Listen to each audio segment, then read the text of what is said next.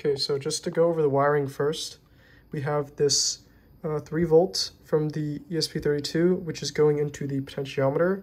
Uh, I would have put it into a rail, but I ran out of wires.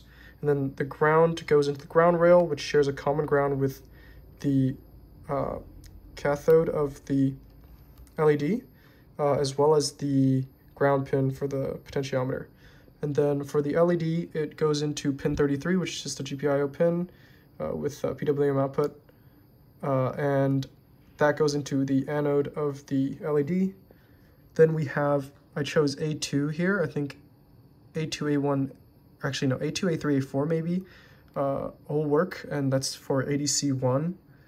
Uh, and I believe that's pin 34, if I'm not mistaken. Uh, and that just goes into the potentiometer, well, the potentiometer uh, output pin.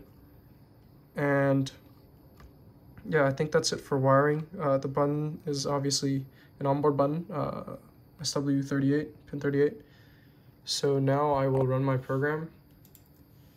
And upon running, it will go to the default uh, duty cycle and frequency, as well as prompt the user for um, the date time specified in the format. And I'll just enter the date time right now to get this started.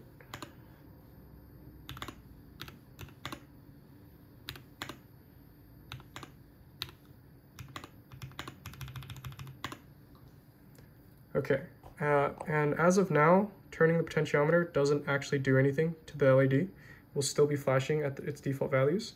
Upon one switch press, uh, we'll be able to modify the frequency. So I have my ranges from 40 hertz down to 1 hertz.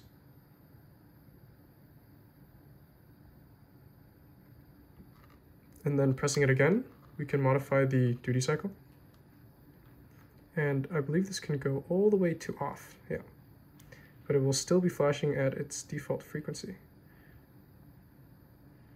And um, when you press it again, it goes back to modifying frequency.